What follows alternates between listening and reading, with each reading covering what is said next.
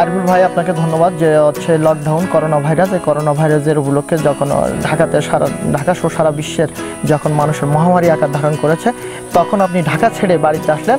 আর এত কিছু থাকতে, এই এলাকাটা একটা চিংড়ির চাষের একটা লবণপূর্ণ এলাকা, এখানে বিভিন্ন ধরনের প্রজাতির মাছ চাষ করা হয়। কিন্তু এত প্রজাতির মাছ থাকতে আপনি কেন এই শোল মাছ চাষটা শুরু করলেন? এই বর্তমান জীবনে কেন শুরু করলেন? এটা যদি আমাদের দর্শকদের উদ্দেশ্যে কিছু জানান। আসলে আমি কৃষি বিষয়ে আমার তেমন কোনো অভিজ্ঞতা নেই। তো আমি যখন বাড়ি এসেছি লকডাউনে তো আমি চিন্তা করলাম লং টাইম লকডাউন কবে ছাড়বে তা কোনো ঠিক ঠিকানা নেই।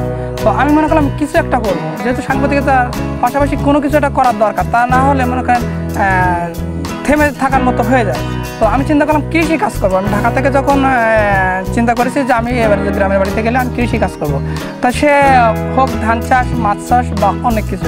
তো আমি যে রাহাত রাজা ভাই আছে আমাদের সাতক্ষীরায় রাহাত রাজা ভাই। ও তার পাশে জাকির চাচার শোল মাছ আমি দেখলাম যে আমি বিভিন্ন রিভিউ দেখতেছি।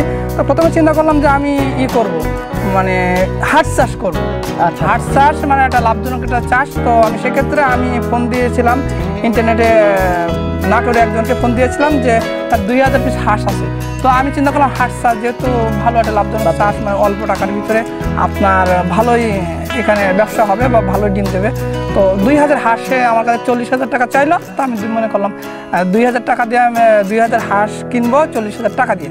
তারপর আমি তার কাছে খরচ খরচার কথা আমি জিজ্ঞেস করলাম ভাইয়া যে এ প্রতিদিন কেমন খেতে দিতে হবে ওদেরকে? তা আর কেন বিক্রি করতেছেন? তা তারা বলল যে আমাদের এখানে পানি উঠে গেছে আমরা ছেড়ে দিয়ে বিলে হাঁস চাষ করি তো আমরা সেক্ষেত্রে, আমরা বিক্রি করে দিব, আমাদের এখানে খাদ্য সংকট হয়ে গেছে, এই জন্য। তো আমি বললাম, ভাই, কত টাকা পড়তে পারে আপনার প্রত্যেক দিনে খাবার বাজেট? দুই হাজার আসে। তো উনি বলল, দশ হাজার টাকা। তো দশ হাজার টাকা হলে আপনাদের দেখা যাচ্ছে দুই হাজার প্রত্যেক মাসে তিন লক্ষ টাকা করে খরচ।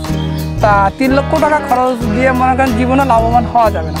সেক্ষেত্রে আমি চিন্তা করতেছি অন্য এর পাশাপাশি আমি যে জাকির চাচার যে ভিডিও দেখি ইউটিউবে জাকির চাচা। হ্যাঁ, জাকির চাচার সাতক্ষীরা জাকির চাচা। জাকির চাচার ভিডিও দেখে আমি খুব ইচ্ছা থাকে যে আমি শোল মাছ চাষ করব। তো ওনার বেশ কয়েকটা প্রতিবেদন দেখলাম দেখার পরে আমার মনে হলো যে আমি শোল মাছ চাষ করব।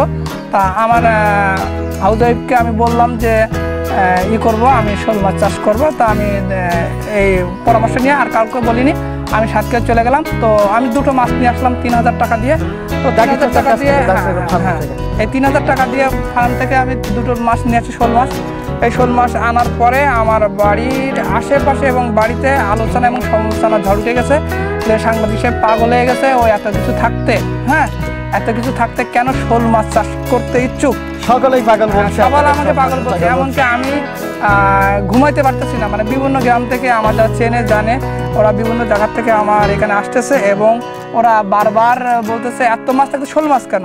তুমি চিংড়ি মাছ চাষ করতা, ভেটকি মাছ চাষ করতা, ভাঙাল মাছ চাষ করতা, কিন্তু তুমি শোল মাছ কেন চাষ করলা? আর এই তো এই মাছটা রাক্ষুসি মাছ, কেন শোল মাছ চাষ করতেছো? তা আমি বললাম, দেখেন, আমি তো, আমি কারোর কথার কোনো জবাব দিচ্ছি না। আমি মনে করলাম যে, না, আমি হাসতেছি আর বলতেছি, আপনারা বসেন আমি একটা সময় কাটছে না, তা আমি শোল মাছের জন্য আমি আনিয়েছি আমার সময় পাস করার জন্য, এটা কোনো ব্যবসার জন্য আনিনি। তো আস্তে আস্তে আমি হলো দেখলাম যে শোল মাছে আমার যখন আস্তে আস্তে আমি চার পাঁচ দিন গেল, যাওয়ার পর আরও লোক আসতেছে। তো এর মাছ আমি প্রথমে আনার পরে আমি ই করলাম, আপনার ই খেতে দিলাম, আপনার হলো ওই ধানি মাছ যেগুলো রেণুকুনা আছে রেণুকুনা খেতে দিলাম মানে মাছগুলো যাতে বাচ্চা দিয়ে দুইটা মাছ জাকির চাচার কাছ থেকে নিয়ে আসলেন। আনার পরে এই যে পুকুরটা নির্ধারণ করলেন কীভাবে? এবং চারি সাইডে কীভাবে এই উঁচা করে দেখছি নেট টেট বিষয়টা এই বিষয়টা কেন?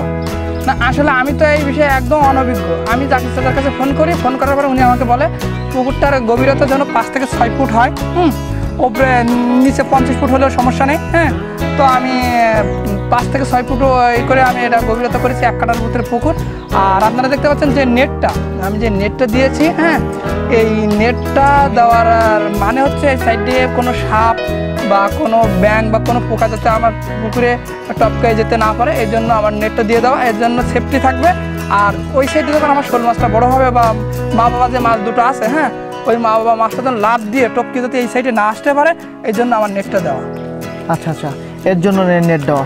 এরপরে হচ্ছে আপনার শোল মাছের আজকে বয়স কত? কি অবস্থা আছে আপনি যদি বিস্তারিত এখন আমার শোল মাছের বয়স হলো ছাব্বিশ দিন আর আমার শোল মাছ।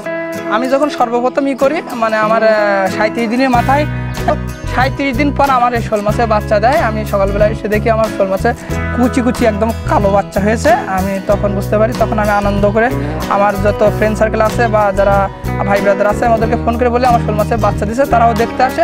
এবং খুব আনন্দ পায় এবং পাশাপাশি আমার শোল মাছে যে আজকে ছাব্বিশ দিন বয়স, আমার শোল মাছ আপনারা দেখতে পাচ্ছেন, এই যে এক গিরার বেশি হয়েছে মানে প্রায় দেড় ইঞ্চির মতন হয়েছে শোল মাছ। তো এই শোল মাছ এখন আমার খেতে দিচ্ছি আমি তেলাপিয়া মাছ আর কি। তেলাপি মাছ দিচ্ছেন। একটু বলি যখন আপনি ছোট ছোট বাচ্চা দিল, একদিন সকালবেলা দেখতে পারলেন যে হচ্ছে ছোট ছোট বাচ্চা দিয়েছে। এই বাচ্চা দেওয়ার পরে এই বাচ্চাগুলো কীভাবে আপনি লালন পালন শুরু করলেন? যখন আমার ছোট বাচ্চা যখন কুচি কুচি যখন বাচ্চা তখন আমি জাকির চাচার কাছে আবার ফোন করি। জাকির চাচা ফোন করলে বলে বাবা তুমি ওদেরকে ডিম আছে না ডিম? আমি প্রথম ভুল করে মানে মুরগির ডিম দেই হ্যাঁ, ফেটে এরকম সিটাই সিটাই দেই। তো এই মুরগির ডিম দেওয়ার পরে আমি জাকির চাচার কাছে ফোন করি। জাকির চাচা বলে মুরগির ডিম দিও না মুরগির ডিমে প্রোটিন কম তুমি হাঁসের ডিম দাও হাঁসের ডিমে প্রোটিন বেশি। তখন আমি একটা করে দিতে বলছিল হুম, আমি তিন থেকে চারটা করে দিচ্ছি যাতে বেশি প্রোটিন হয় তো এর জন্য আমার মাছগুলো খুব দ্রুত আর কি হাঁটতে শিখে মাছ ওই ডিমটা ভেঙে হ্যাঁ। মাছের গায়ে গাছের মাছের গায়ে এভাবে দেয় যার কারণে মাছগুলো মানে দৌড়তে থাকে দৌড়াতে থাকে। স্পিডটা বাড়ে আর স্পিডটা বাড়ে আজকের আপনার মাছের বয়স হচ্ছে এই বাচ্চা মাছের ছাব্বিশ বয়সটা ছাব্বিশ দিন।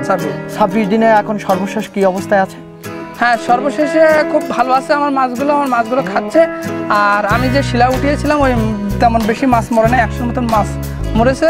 আর এখন মাছগুলো খুব দৌড়চ্ছে আশাবাদী। আল্লাহ রব্বুল আলম যে ইচ্ছা রহমত করেন তা আমার মাছগুলো খুব দ্রুত বড় হয়ে যাবে ইনশাল্লাহ আর প্রতিদিন সকালে কভার করে খেতে দেন আর কি খাবার খেতে দেন? আমি আপনি যে কোনো মাছ খেতে দিতে পারেন তো আপনার মাছটা যেন কমপক্ষে আপনার মাছটা যেন চল্লিশ টাকার ভিতরে পড়ে। সর্বোচ্চ যেন চল্লিশ টাকার উপরে পড়ে। তাহলে আপনার সাশ্রয়ী হবে ঠিক আছে? তখন আপনার যেমন আমাদের এদিকে মাছের দাম কম। আমি চব্বিশ টাকা করে কিনে এনেছি সেট থেকে। তো এরকম আপনার অন্য অন্য মাছ খেতে দিবেন বা মাছ সবচেয়ে ভালো যদি আপনি মাছ কিনে এনে ভাতটা করে। হ্যাঁ ভর্তা বড় ভর্তা করে খেতে দিতে হবে। আপনি যদি চান মাছ আপনার যদি আলাদা পুকুর থাকে তাহলে আপনি এই পুকুরে এই মাছগুলো আপনি চাষ করে ওখান থেকে যখনই মাছ ইয়ে হবে বড় হবে ওখানে এদেরকে সিদ্ধ করে খেতে দিতে পারবে। তবে আপনার খেয়াল রাখতে হবে মাছটা যেন চল্লিশ টাকা বা পঞ্চাশ টাকার উপরে না যায় তখন সেক্ষেত্রে আপনার একটু খরচ বেশি পড়ে যাবে তখন আপনার লাভের সংখ্যাটা কমে আসবে। সব সংখ্যা কমে আসবে। এরপর থেকে এই মাছগুলো কি অন্য পুকুরে হস্তান্তর করা যাবে কিনা? হ্যাঁ মানে আমার মাছ দেখা যাচ্ছে আমার এখানে হয়তো আমি আশা করছি যে আমার হয়তো এক হাজার মাছ আমি এক কাটা জমিতে এক হাজার মাছ রাখতে পারব। তো আমার এখানে জায়গার সংকট আপনারা দেখতে পাচ্ছেন তো আমি পিছনে আমার এই পুকুরটা আরও বড় করে দেবো, আর এই সাইডে আরও একটু বড় করে দেবো। আর আমার ঘের আছে। আমার ঘের আছে সেই ঘেরে আমি এই মাছগুলো হস্তান্তর করব এবং আপনার মাছ যখন বড় হয়ে যাবে হ্যাঁ তখন আপনার মা বাবাকে উঠে ফেলতে হবে। আমি যেটা মনে করতেছি, তা না হলে আমার মনে হচ্ছে যে এই এরা ওই ওদের বাবা মাই ওদের যে বাচ্চা খেয়ে ফেলবে। এই জন্য আপনার এই যখন মাছটা আপনার যখন এমন হয়ে যাবে, এই যে আঙুলের মতন হয়ে যাবে বা এর চেয়ে এরকম হয়ে যাবে, তখন তিন কাতারে বিভক্ত করতে হবে মাছটা। ছোট, বড়, মাঝারি। তখন ওই আলাদা আলাদা আলাদা আলাদাই করতে হবে। আলাদা প্লট করে রাখা প্লট করে রাখতে হবে। এর ভিতরে সম্ভব এর ভিতরে আমি ইচ্ছা করলে তিনটা ভাগে ভাগ করে। তিনটা ভাগে ভাগ করতে একটা বড় আর দুটো করে রাখতে পারবেন হ্যাঁ। তো আরিফুল ভাই আপনাকে অনেক ধন্যবাদ। আমাদেরকে সময় দেওয়ার জন্য। আমরা আপনার মাছ চাষের সফলতা কামনা করছি। আপনি দ্রুত আপনার শোল মাছগুলো আরও বৃদ্ধি পান। এই আপনি ভালো থাকেন এবং আপনার মাছগুলো আরও বড় করেন এই কামনা করছি। আপনাদেরকে অসংখ্য ধন্যবাদ।